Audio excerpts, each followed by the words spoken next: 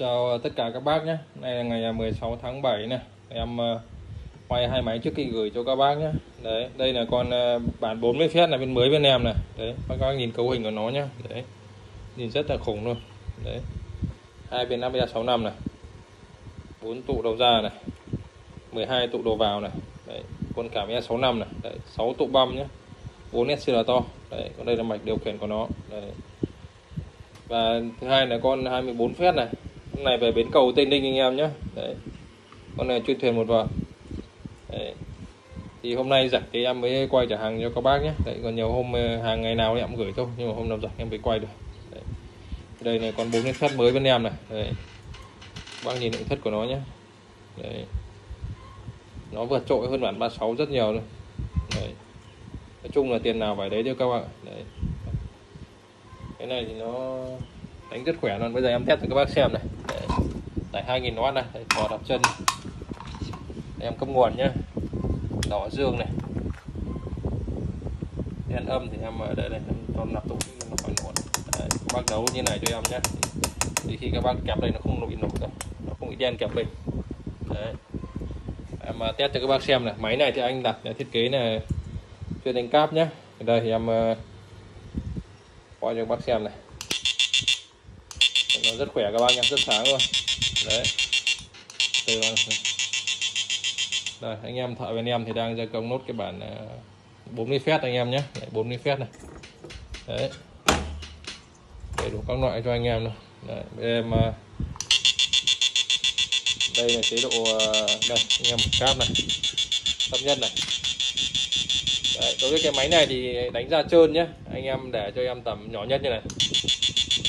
Đấy tầm khoảng năm như này thôi mấy thôi.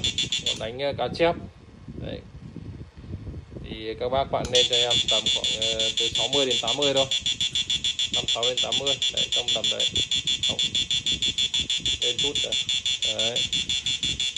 Còn đánh ra trơn thì các bạn nhỏ như này em nhá bạn ngược xuống nhá. Đấy, ra trơn thì các bác đẩy nhỏ này thì nó lên mới đẹp rồi đấy. Đây chế độ cáp thứ hai này. Chế độ này thì các bác volume bác chỉnh bạn ngược này nhá. Bạn ngược này là to này. Để nó ngược cái chế độ kia. Nó trôi là nhỏ này. Em để đang để chế độ nhỏ nhất này. Bạn ngược này là to này.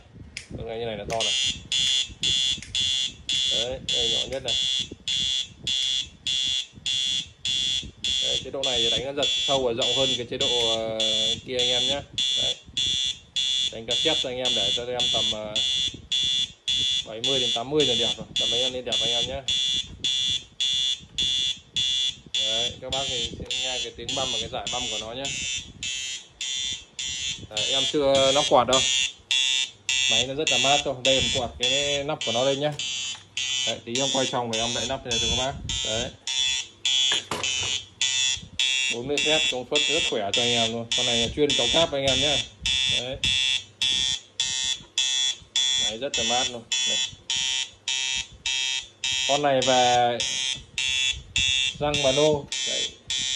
Ya khai ya gà rai Đắc à, ra ra này anh em nhé. Đấy, con này thì một bản 36 phép vào đấy rồi.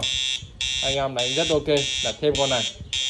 Đấy, bác ở gần đấy đặt thêm con này và tiếp tục thì anh đặt 36 phép 24V lại đặt thêm con 40 phép này nữa. Đấy.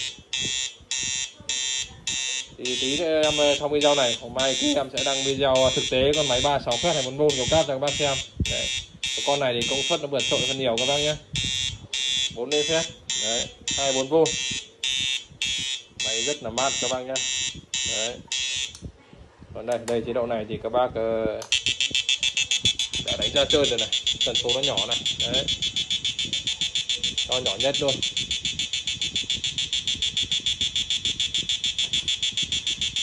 Chuyên ra chơi, còn đánh cái nâng gắn cái anh anh em bạn lên đây. Đấy, nghe tiếng máy nó được hơn rất nhiều các bác nhé giật nó rộng hơn.